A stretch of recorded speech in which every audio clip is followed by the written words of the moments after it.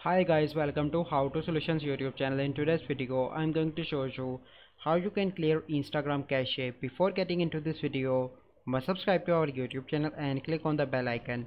So the first step you need to do is to open settings of your smartphone and then you need to go into the app management and click on app list and search your Instagram like I am doing okay and then you need to click on storage and cache and the first step you need to do is to clear cache like I'm doing.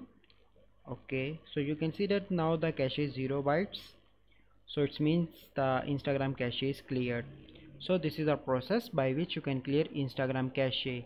I hope you find this video helpful. If you find this video helpful must like this video subscribe to our youtube channel for future videos. We'll see you in the next video. Thank you. Have a good day